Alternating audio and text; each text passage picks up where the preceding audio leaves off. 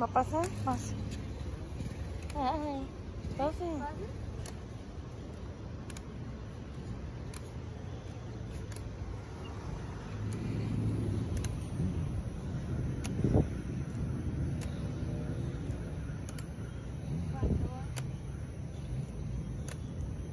Dos minutos y cincuenta.